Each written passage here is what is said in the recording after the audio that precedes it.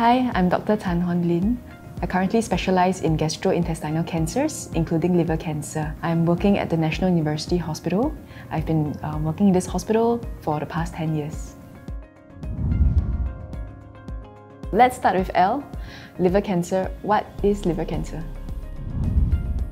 Liver cancer is cancer that um, arises from liver cells. There are several different types, the most common being hepatocellular carcinoma, where the cancer develops from the most common type of liver cells called hepatocytes.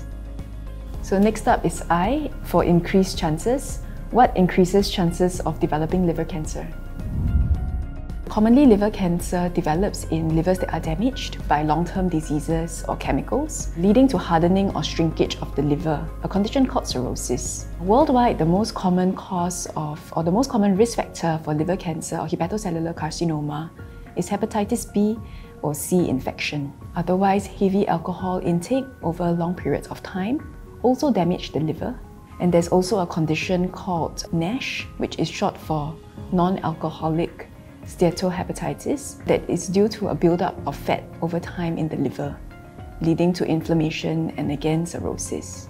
Next up, we have V, V for various signs and symptoms. Early liver cancer often doesn't have symptoms or they could be quite non-specific. Some symptoms may include weight loss, loss of appetite, tummy pain, tummy bloatedness or swelling, and sometimes they may even feel a lump in the tummy.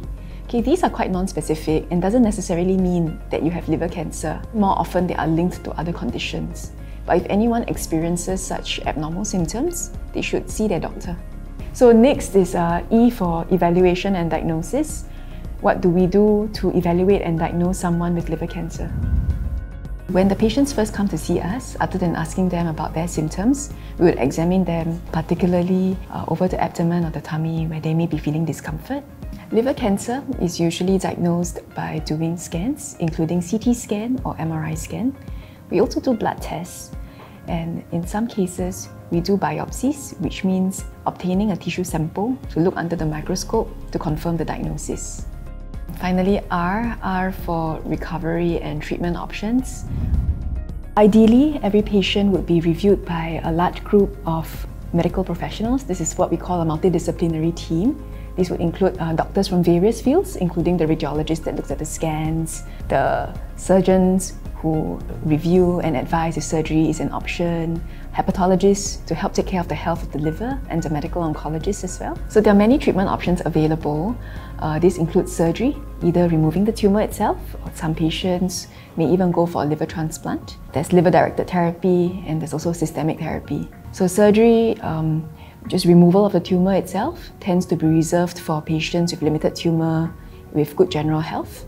If the tumour is localized but patient is not suitable for surgery, we can consider liver-directed therapies. There are several forms of it, including ablation or embolization. Sometimes um, with embolization, there is chemoembolization or radioembolization, where basically there are chemotherapy or radioactive substances tagged onto um, microbeads that are then injected into the bloodstream, supplying the liver tumour. In so doing, we hope to have the tumour uh, controlled. And then the systemic therapy, which includes targeted medications in the form of pills or immunotherapy that comes in the form of an IV drip. It actually depends on uh, the extent of the tumour at diagnosis, whether or not you know the tumour can be completely removed. Um, typically, if the cancer is advanced and has spread to other areas of the body, then um, our aim of the treatment really is to try to control the tumour and try to prolong life. But in that situation, uh, we are unable to actually cure or get rid of all the cancer. Within the hospital, our medical social workers are very helpful in providing psycho-emotional and psychosocial support to our patients as well. I think out in the community, there are definitely other support groups that we can turn to.